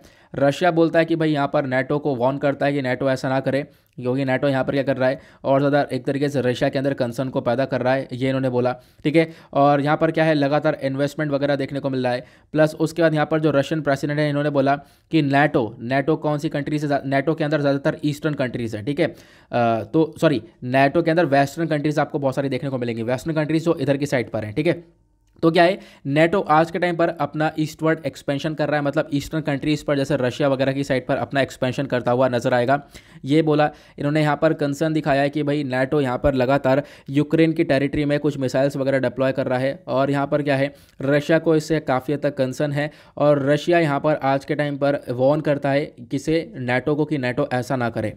उसके बाद क्या है रशिया आज के टाइम पर हाइपरसोनिक मिसाइल्स वगैरह को भी डेवलप कर रहा है और रशिया ने बोला है कि बस मिस्टर ये जो पुतिन है, व्लादिमिर पुतिन, इन्होंने बोला है कि हम लोग यहाँ पर डेवलप करेंगे अपनी एक हाइपरसोनिक मिसाइल इन चीज़ों को टैकल करने के लिए कि अगर इस प्रकार से रशिया के लिए थ्रेट बनेगा तो रशिया के पास एक हाइपरसोनिक मिसाइल आएगी और आप लोग को मालूम होगा रशिया ने रिसेंटली एक मिसाइल की टेस्टिंग भी करी है, जिसका नाम है जिरकॉन हाइपरसोनिक क्रूज मिसाइल ठीक है? इसके बारे में आप लोग को पता होगा, इसकी वन किलोमीटर की रेंज है। और इसके बारे में आप लोग को डेली करंट अफेयर वाले वीडियो में डिटेल में समझाया था। उसके बाद यहाँ पर और क्या चीज़ें बताई गई? कि वो उसके बाद फिर यहाँ पर कॉन्फ्लिक्ट के बारे में बताया गया कि रशिया क्या और क्रीमिया का वाले रीजन का क्या कॉन्फ्लिक्ट है? मैं आप लोगों को इसके बारे में भी बता देता हूँ कि आखिरकार क्या कॉन्फ्लिक्ट है। मैंने कुछ पिक्चर्स आपके साथ शेयर कर रखे हैं टेलीग्राम पर। आ, हाँ ये वाला आप पिक्चर देख पाओगे। तो यहाँ पर आप देख पाओगे ये रशिया है ऊपर नीचे आपको यूक्रेन देखने को मिलेगा ठीक है? और इसी का यूक्रेन का एक पार्ट हुआ करता था ये वाला रीजन क्रीमिया वाला जो रीजन है ये यूक्रेन का हुआ करता था। लेकिन साल 2014 में क्या हुआ? रशिया ने इस वाले रीजन को भी एनेक्स कर लिया, इस रीजन को भी हथिया लिया, ठीक है? ऐसा यहाँ पर बताया गया। अब हथिया लिया तो इसके बेसिस पर भी काफ़ी हद तक कॉन्फ्लिक्ट्स रहते हैं रशिया और यूक्रेन के बीच में तो इसके बारे में भी आप लोग को ध्यान रखना है। इसी वजह से यहाँ पर एक कंसर्न दिखाए जाते हैं। आई होप आपको ये आर्टिकल क्लियर हो चुका है। आगे बढ़ेंगे उसके बाद अगले आर्टिकल की तरफ़। उसके बाद यहाँ पर आप देख पाओगे, सारे आर्टिकल ज़्यादा कुछ भी खास नहीं है। सारे स्टेटमेंट वाइज आर्टिकल है स्टेटमेंट पर ज़्यादा ध्यान नहीं देना होता, जैसे मैं आप लोगों को ऑलरेडी पहले भी बता चुका हूँ। आएँगे पेज नंबर ट्वेल्व के ऊपर दैट इज़ बिज़नेस सेक्शन देखेंगे इकॉनमी के परस्पेक्टिव से इंपॉर्टेंट आर्टिकल को। सबसे पहला आर्टिकल वही इकॉनमी के बारे में बात करता है जीडीपी ग्रो हुई, हम लोगों ने अभी इसको पेज नंबर वन पर ही डिस्कस कर लिया है। इकलौता सा आर्टिकल है यहाँ पर, जो कि एक डेटा हमें देता है कि इंडिया के अंदर जो फाइव जी सब्सक्रिप्शन हैं, वो लगभग फाइव मिलियन तक होने वाले हैं दो हज़ार सत्ताईस तक। दो 2027 तक 5G सब्सक्रिप्शन पर भारत काफ़ी आगे बढ़ जाएगा और जो फोर जी वाले सब्सक्रिप्शंस हैं, इनके सब्सक्रिप्शंस घट के डाउन हो जाएँगे, ऐसा यहाँ पर बताया जा रहा है। अगर हम बात करें 4G का मामला तो 4G का मामला काफ़ी कम होगा। आज के टाइम पर 4G की अगर हम बात करें तो 790 मिलियन के आसपास यहाँ पर सब्सक्राइबर्स देखने को मिलेंगे। लेकिन ये कम हो गए 710 हो सकते हैं 2027 तक, ऐसा बताया गया। और जो 5G का मामला है वो बढ़ बढ़ सकता है और 5G सब्सक्राइबर्स लगभग 500 मिलियन के आसपास तक पहुँच सकते हैं, ये स्टेटमेंट निकल कर आता है। तो एक छोटा सा आर्टिकल था। आगे बढ़ेंगे, अब डायरेक्टली चलेंगे हम लोग एडिटोरियल्स पर, देखेंगे आज के इंपॉर्टेंट एडिटोरियल्स को। तो यार यहाँ पे दो एडिटोरियल बहुत इंपॉर्टेंट है डिस्कस करेंगे। यहाँ पर ऑथर क्या मेंशन करते हैं इकोनॉमी के पर्सपेक्टिव से इंपॉर्टेंट आर्टिकल है। दूसरा अगेन इकोनॉमी के पर्सपेक्टिव से इंपॉर्टेंट आर्टिकल है प्लस पॉलिटी के पर्सपेक्टिव से भी। यहाँ पर ये जो एडिटोरियल है, यहाँ पर अगेन क्रिप्टो के बारे में डिस्कशन किया गया है। क्रिप्टो करेंसी के बारे में चर्चा की गई है, जो कि मैंने आप लोगों के साथ अभी शेयर किया है। लेकिन यहाँ पर बोला कि अभी भारत सरकार क्या कोशिश कर रही है क्रिप्टो करेंसी को रेगुलेट किया जा सके? इसके ऊपर एक रेगुलेशन बॉडी हो, इसको मैनेज किया जा सके। तो लेकिन ऐसा बहुत मुश्किल है, ऐसा यहाँ पर ऑथर लिखते हैं, ठीक है? ऑथर का नाम है अतानु विश्वास यहाँ पर ये सारी चीज़ें मैंशन करते हैं। इनका कहना यह है, आज के टाइम पर क्रिप्टो करेंसी को रेगुलेट करने वाला एक व्यक्ति है, वो कौन है? वो है इलॉन मस्क ठीक है? अब कैसे कि इलॉन मस्क ने किस प्रकार से कि आपको मालूम होगा क्रिप्टो के प्राइसेस काफ़ी तेज़ी से बढ़ गए। जब इन्होंने बोला जो एक तरीके से टेस्ला है टेस्ला क्या एक तरीके से ए, मतलब कि आप कह सकते हो कि इन्होंने क्या करा क्रिप्टो प्राइसेस लगातार बढ़े जब टेस्ला ने अनाउंस किया कि इन्होंने पैसा इन्वेस्ट करने वाले हैं। लगभग 1.5 बिलियन डॉलर्स तक का यहाँ पर इन्वेस्टमेंट होगा बिटकॉइन के अंदर। तो इसी वजह से क्या हुआ क्रिप्टो करेंसी की एकदम से डिमांड बढ़ गई कि भाई इतना बड़ा इन्वेस्टमेंट इलॉन मस्क कर रहे हैं। तो डायरेक्टली हमें क्रिप्टो करेंसी को खरीदना चाहिए। आने वाले टाइम पर क्रिप्टो करेंसी की वैल्यू बहुत तेज़ी से बढ़ जाएगी। ठीक है? तो इस प्रकार की चीज़ें चलती रहीं। उसके बाद मस्क ने एक और अनाउंसमेंट किया है। वो अनाउंसमेंट ये था कि जो टेस्ला है, वो अब से बिटकॉइन एक्सेप्ट करेगा कि अगर आप लोग इलेक्ट्रिक कार्स खरीदोगे तो बिटकॉइन में पेमेंट करना। तो इसकी वजह से फिर से बिटकॉइन के प्राइसेस काफ़ी बढ़ गए। लेकिन फिर वापस से एक और ट्वीट आता है इलॉन मस्क का, वही आता है कि हमने जितने भी डिसीज़न लिए हैं, इसको हम रिवर्स करते हैं कि अब हम ऐसा कुछ नहीं करेंगे। तो वापस से डाउन चला जाता है। तो मतलब क्रिप्टो करेंसी का अप डाउन देख पाओगे कि इलॉन मस्क के काफ़ी हद तक हाथ में देखने को मिला। तो यहाँ पर एक व्यक्ति है जिन्होंने यहाँ पर रियल इनको क्रिप्टो पाइपर बोला गया है कि क्रिप्टो करेंसी को यहाँ पर इन्होंने काफ़ी अच्छे तरीके से रेगुलेट किया है। लेकिन ये आप रेगुलेशन का तरीका अलग है, ठीक है? लेकिन आप आपका हो गया सरकार कह रही है, एक बिल लेकर आएँगे। बिल के थ्रू हम लोग प्रॉपरली रेगुलेट करेंगे, ठीक है? जो करेंसी है, इसके जो भी नुकसान है, उसको रोका जाएगा। तो ऐसा यहाँ पर पॉसिबल नहीं देखने को मिलेगा, ऐसा यहाँ पर ऑथर मेंशन करते हैं। कैसे मेंशन करेंगे? आगे हम डिस्कस करेंगे। सबसे पहली चीज़ यहाँ पर बताया गया कि आखिरकार क्रिप्टो करेंसी का नेचर कैसा है? देखो क्रिप्टो करेंसी का ट्रू नेचर होता है हाईली वॉलेटाइल वॉलेटाइल मतलब इसके अंदर बहुत तेज़ी से उतार चढ़ाव देखना है। जैसे मैंने आप लोग को अभी समझाया क्रिप्टो करेंसी का जो प्राइस है, कभी क्या होता है, कभी क्या हो जाता है। मतलब बहुत ऊपर तेज़ी से ऊपर नीचे होता रहता है, जैसे स्टॉक मार्केट होता है। लेकिन स्टॉक मार्केट के अंदर भी इतना तेज़ी से वॉलिटिलिटी नहीं देखने को मिलता, जिस प्रकार से क्रिप्टो करेंसी के अंदर देखने को मिलता है। उसके बाद न्यूयॉर्क यूनिवर्सिटी के प्रोफेसर हैं नॉरियल रोबिनी। इन्होंने बोला जो बिटकॉइन है बेसिकली आज के टाइम पर एक स्यूडो एसेट है, ठीक है? यहाँ पर एक तरीके से इसका मनुपुलेशन किया जा सकता है, इसके अंदर बदलाव करके यहाँ पर इसका जो एक तरीके से क्रिप्टो को कभी ऊपर नीचे किया जा सकता है, जैसे इलॉन ने करके दिखाया। उसके बाद बोला गया जो क्रिप्टो है आज के टाइम पर एक तरीके से, पूरा का पूरा ये जो क्रिप्टो करेंसी आपको देखने को मिलेगा हाइप सा बन चुका है और बहुत सारे लोग इसको एम्ब्रेस करते हैं। बहुत सारे लोग यहाँ पर इसको बढ़ावा देते हैं कि बिल्कुल क्रिप्टो करेंसी एक बहुत अच्छा एक तरीके से ऑप्शन है कंट्रीज़ को आगे ग्रो करने के लिए। तो बहुत सारे लोग यहाँ पर इसको पूरी तरह से फेवर करते हैं, बहुत सारे लोग इसको सपोर्ट करते हैं।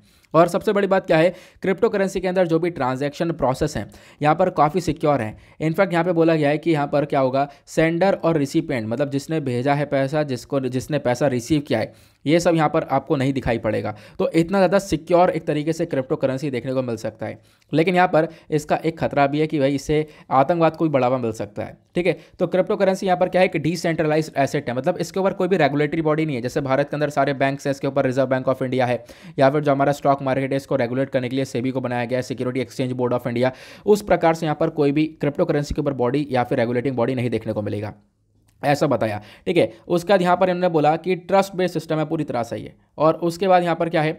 ये एक तरीके से अगर हम यहाँ पे बात करें प्राइवेसी वगैरह की तो प्राइवेसी यहाँ पर इसका एक कैरेक्टरिस्टिक देखने को मिलेगा। प्लस यहाँ पर दिक्कत ये भी है कि प्राइवेसी यानी क्रिप्टो करेंसी के अंदर जो प्राइवेसी है, जैसे मैंने आपको बताया, कोई भी इन्फॉर्मेशन पता नहीं चलेगी ट्रांजेक्शन के बाद भी, लेकिन ये अपने आप में खतरा भी है। क्यों? क्योंकि इसी क्रिप्टो करेंसी को हम लोग मनी लॉन्ड्रिंग के लिए इस्तेमाल कर सकते हैं। मनी लॉन्ड्रिंग का मतलब यह है कि हम लोग क्या जो पैसा है, उसको एक तरीके से ब्लैक मनी से व्हाइट मनी में कन्वर्ट कर सकते हैं, ठीक है? और उसके बाद यहाँ पर क्रिप्टो करेंसी का हम टेररिज्म के अंदर भी इस्तेमाल कर सकते हैं, आतंकवादी एक्टिविटीज़ के अंदर भी इस्तेमाल कर सकते हैं। क्रिप्टो करेंसी की बात करें तो यहाँ पर एक तरीके से ये बहुत इंपॉर्टेंट है बहुत अच्छा सा सिस्टम बन चुका है हैकर्स के लिए भी। जो हैकर्स हैं, वो इसको हैक कर सकते हैं। रैंजम वेयर अटैक्स के थ्रू यहाँ पर इसको हैक किया जा सकता है, ऐसा ही बताया गया। ठीक है? फिर उसके बाद यहाँ पर क्रिप्टो करेंसी को लेकर और भी चीज़ें एक बात की गई। कि हमारे कंट्री हमारे देश भर में क्या सॉरी दुनिया भर में क्या चल रहा है? एक तरफ़ आप देख पाओगे जो चाइना है चाइना ऑलमोस्ट यहाँ पर बोलता है कि हम लोग क्रिप्टो करेंसी को बैन करेंगे क्रिप्टो करेंसी को ऑलमोस्ट बैन कर चुका है, ठीक है? इसको बैन करने के बाद अपने खुद की कंट्री का own centrally regulated digital currency called digital renminbi लेकर आने वाले हैं। लेकिन आप दूसरी साइड देखोगे, एक तरफ़ तो चाइना ने इसको खत्म किया, लेकिन दूसरी साइड पर जो एल सल्वाडोर कंट्री देखने को मिलेगा, ये एक ऐसा पहला देश निकल कर आया है जिसने बोला है कि हम लोग बिटकॉइन को as a legal tender accept करेंगे। मतलब बिटकॉइन का इस्तेमाल पूरी तरह से होगा क्रिप्टो करेंसी का इस्तेमाल होगा। तो एल सल्वाडोर यहाँ पर प्लान कर रहा है कि हम लोग दुनिया का पहला बिटकॉइन शहर बनाएँ और बिटकॉइन को यहाँ पर बहुत आराम तरीके से यहाँ पर यूज़ किया जा सके, ये यहाँ पर बोला गया। ठीक है तो यहाँ पर क्या हुआ? जो क्रिप्टो करेंसी है, इसका खुद का पूरी तरह से इस्तेमाल किया जा सके एल सल्वाडोर के अंदर ये पूरा फोकस रखा जा रहा है। इंटरनेशनल मॉनेटरी फंड ने रिसेंटली बोला है कि भाई जो बिटकॉइन है बेसिकली यहाँ पर बिटकॉइन यहाँ पर लीगल टेंडर की तरह इस्तेमाल नहीं होनी चाहिए एल सल्वाडोर के अंदर, ऐसा बताया गया। लेकिन आप कह सकते हो यहाँ पर, उसके बाद और भी चीज़ें इन्होंने बोला, पहले आपको क्रिप्टो करेंसी को रेगुलेट करना आना चाहिए, इसको सुपरवाइज करना आना चाहिए, क्योंकि अभी इसके ऊपर कोई भी रेगुलेशन नहीं है। गायब हुआ तो पता नहीं क्या होगा, ठीक है? फिर उसके बाद आज के टाइम पर बहुत सारी कंट्रीज़ सपोर्ट भी करती हैं एल सेल्वाडोर को और एल सेल्वाडोर को सपोर्ट भी किया है, ठीक है? और आज के टाइम पर बहुत सारी कंट्रीज़ रेगुलेट कर रही हैं, किस प्रकार से? कि भाई बिट कॉइन जो गेंस होगा, उसके ऊपर टैक्सिंग की जाएगी, उसके ऊपर टैक्स कट किया जाएगा। जैसे आज के टाइम पर स्टॉक मार्केट होता है, यहाँ पर आपने काफ़ी सारे स्टॉक्स परचेज करें, या म्यूचुअल फंड्स के अंदर आपका इन्वेस्टमेंट है तो लंबे समय तक होने के बाद वहाँ पर टैक्स भी आपका कटता है। तो इस प्रकार से पर टैक्सिंग कटवा करवाने की बात की चीज़ की गई है कि जो भी आपके गेन्स होंगे, जो भी प्रॉफिट्स होंगे, उसके ऊपर थोड़ा सा टैक्सिंग वगैरह चार्ज किया जाएगा, इस प्रकार से रेगुलेशन किया जाएगा। अब बात करते हैं भारत के मामले में। तो इंडिया के अंदर जो क्रिप्टो करेंसीज है, लगातार स्कैनर के अंदर देखने को मिली है। दो के अंदर जो हमारी फाइनेंस मिनिस्टर हैं, ठीक है, इन्होंने बोला कि जो हमारी सरकार है, वो क्रिप्टो करेंसी को एज अ लीगल टेंडर नहीं मानेगी मतलब क्रिप्टो करेंसी को हम लोग एक्सेप्ट नहीं करेंगे। होता क्या है, उसके बाद क्रिप्टो करेंसी को बैन करने के बारे में भी चर्चा की जाती है, लेकिन 2020 के अंदर सुप्रीम कोर्ट क्या करता है, ये जो बैन वाला ऑप्शन इसको हटा देता है कि नहीं, बिल्कुल, reserve bank of India crypto currency को बैन नहीं कर सकता। ऐसा सुप्रीम कोर्ट 2020 के अंदर बोलता है। फिर अब क्या हो रहा है? साल 2021 के अंदर हम लोग क्रिप्टो करेंसी को रेगुलेट करने के लिए एक बिल लाने के ऊपर फोकस कर रहे हैं। जो पार्लियामेंट के अंदर ये विंटर सेशन चल रहा है, इस वाले सेशन की बात हो रही है तो यहाँ पर एक बिल आने वाला है, जिसका नाम है crypto currency and regulation of official digital currency bill of twenty okay फिर उसका यहाँ पर इन्होंने बोला, यहाँ पर क्या होगा? इसका मेन मकसद यह है कि जितनी भी एक तरीके से प्राइवेट क्रिप्टो करेंसीज है, उनको हम लोग प्रोहिबिट करेंगे, उनको रोका जाएगा। ये मेन मकसद यहाँ पर रखा गया है। उसके बाद यहाँ पर और भी चीज़ें बताई गई हैं कि जिस प्रकार से आप कह सकते हो, एक रूल्स एंड रेगुलेशंस तैयार किए जाएँगे और कोशिश की जाएगी क्रिप्टो करेंसीज को अच्छे से रेगुलेट किया जा सके। उसके बाद बोला गया जो डिजिटल करेंसी है सेंट्रल बैंक की, यहाँ पर आप कह सकते हो कि यहाँ पर आप कह सकते हो, जैसे कि रेगुलेशन होता है।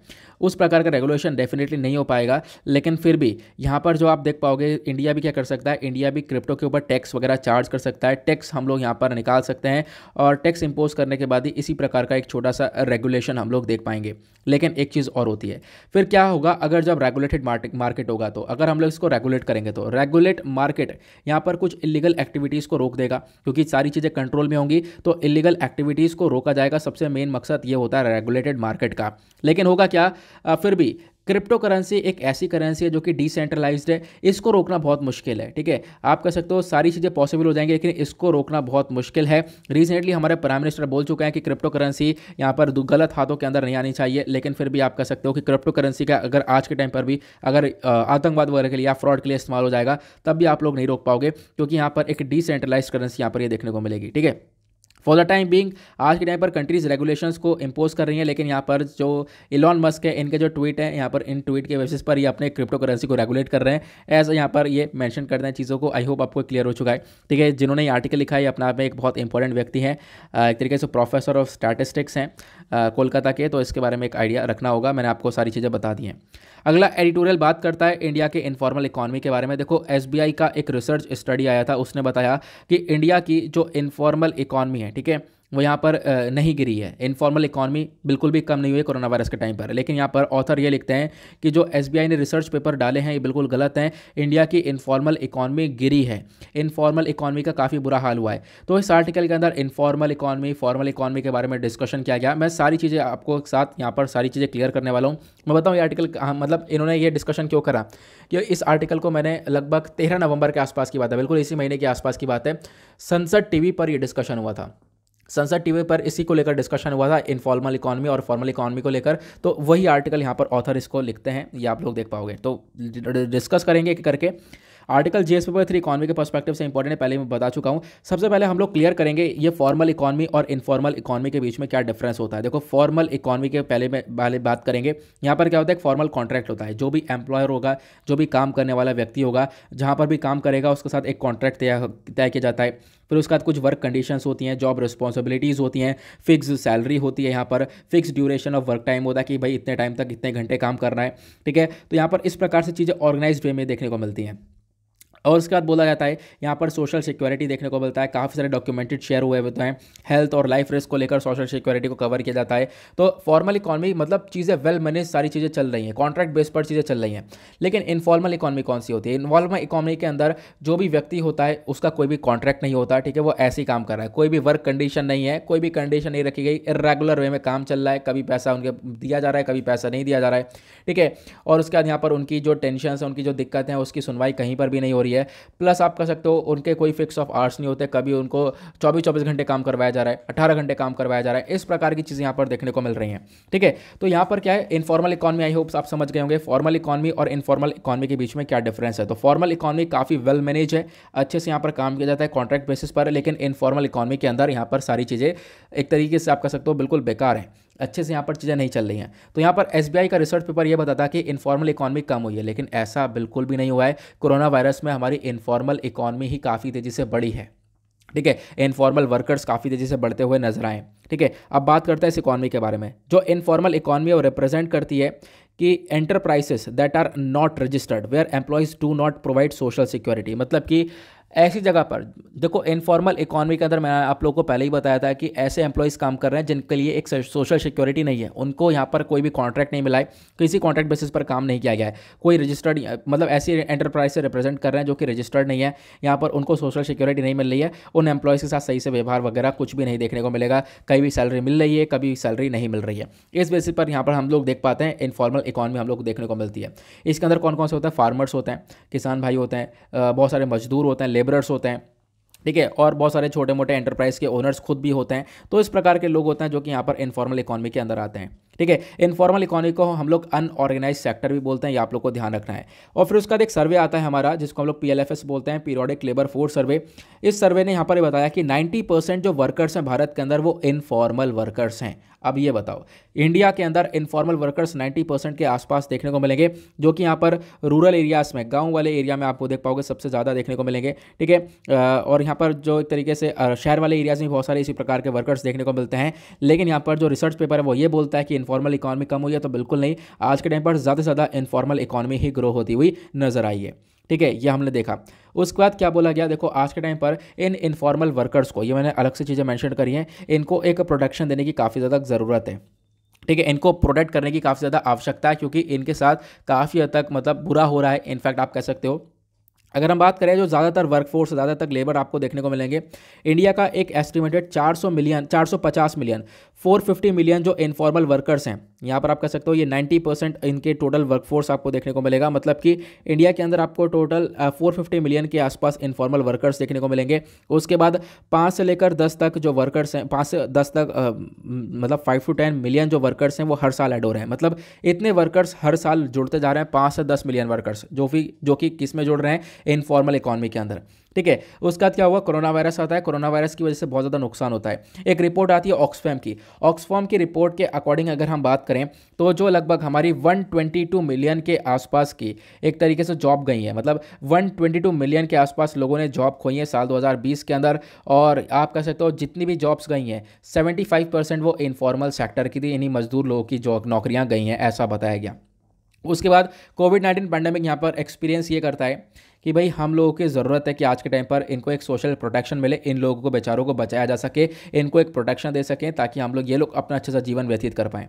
ठीक है? इसी वजह से बहुत इंपॉर्टेंट है। तो जो हमारी इनफॉर्मल इकॉनमी है बेसिकली वो लगातार ग्रो होती हुई नज़र आई है, ऐसा बताया गया। अब यहाँ पर वर्कर्स को हम लोग किस प्रकार से सिक्योरिटी प्रोवाइड करवा सकते हैं? जैसे कि इनफॉर्मल वर्कर्स हैं, इसको हम लोग कैसे सिक्योरिटी प्रोवाइड करवा सकते हैं? ये चीज़ यहाँ पर मैंशन करी गई हैं, ये मैंने अलग से आपको प्रोवाइड करवाया है। जैसे कि जो हर एक वर्कर है there should be three types of security तीन प्रकार की सिक्योरिटी होनी चाहिए। सबसे पहले एक वेज सिक्योरिटी की, जो भी वर्कर काम कर रहा है तो बेचारे को जो उसकी काम है वेज है, मजदूरी है तो वो तो मिलनी चाहिए। जिस प्रकार से यहाँ पर उसका मतलब कॉन्ट्रैक्ट बेसिस पर काम हुआ है तो उस बेसिस पर उसको वेज वगैरह तो मिलना चाहिए। और ये सारी चीज़ें हमारा wage amendment act two thousand करता है। दूसरा सिक्योरिटी जॉब सिक्योरिटी देना चाहिए जब व्यक्ति काम कर रहा है तो उसके पास एक जॉब सिक्योरिटी हो कि हाँ भाई लंबे समय तक वो काम करेगा और वो सिक्योर है कि हाँ भाई उसकी जॉब ऐसे नहीं जाएगी।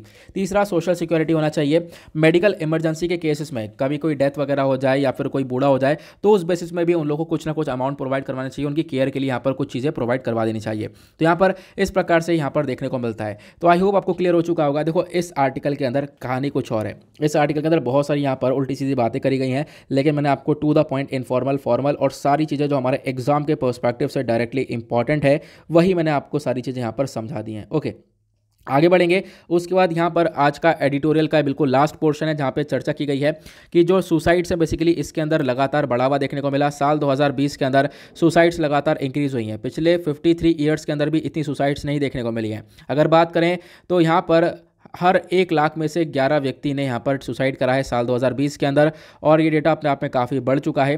ज़्यादातर सुसाइड करने वाले वर्कर्स वगैरह देखने को मिलेंगे। और कौन सा राज्य टॉप पर है तो यहाँ पर आप देख पाओगे महाराष्ट्र, तमिलनाडु, एमपी, यहाँ पर सबसे ज़्यादा सुसाइड्स हुई हैं साल दो हज़ार बीस के अंदर। ये यहाँ पर बताया गया है और यही चार्ट नीचे मैंशन करेगा जो कि मैंने अभी आप लोग को यहाँ पर समझाए हैं, ठीक है? तो ये यहाँ पर बताया गया कि ज़्यादातर यहाँ पर कौन से वर्कर्स देखने को मिलेंगे? रिटायर्ड पर्सन भी हैं, स्टूडेंट्स भी हैं, सैलरीड पर्सन भी हैं, डेली वेज भी हैं जो मजदूर हैं अनएम्प्लॉयमेंट पर्सनस भी हैं। ये सारे लोग हैं जिन्होंने सबसे ज़्यादा सुसाइड्स करी हैं तो ये चीज़ें यहाँ पर मैंशन करी गई हैं। ओके आई होप आपको ये भी क्लियर हो चुका है। ठीक है तो ये एक डेटा था जिसको आप लोग स्टोर करके रख सकते हो अपने पास। ये डेटा के अंदर जितनी भी इंपॉर्टेंट चीज़ें हैं, ये अपने पास रख लो, जो कि आप लोग एज अ एग्ज़ाम्पल आप इस्तेमाल कर सकते हो। ज़्यादा यहाँ पर कुछ ऐसा देखने को मिलेगा नहीं। तो गाइज़ यहाँ पर छोटा सा आर्टिकल था। आई होप आपको क्लियर हो चुका है। तो यही कुछ एडिटोरियल से, बाकी एडिटोरियल के ऊपर ज़्यादा आपको फोकस करना नहीं है। बाकी सारी चीज़ें ऑलरेडी जो आती रहती है, हम लोग क्लियर करते रहते हैं। ना इसी के साथ करते हैं हम लोग अपने लेक्चर को समाप्त। मिलते हैं आप लोगों से नेक्स्ट वीडियो में। आज के लिए bye bye have a nice day thank you and जय हिंद